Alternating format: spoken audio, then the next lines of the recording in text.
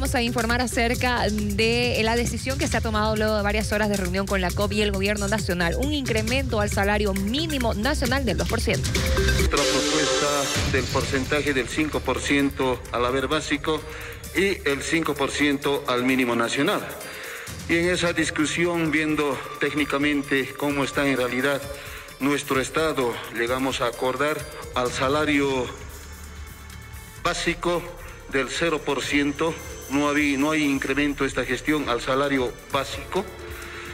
Sí hemos eh, avanzado en el porcentaje del incremento salarial al mínimo nacional del 0,67, hemos eh, avanzado al 2% al mínimo nacional.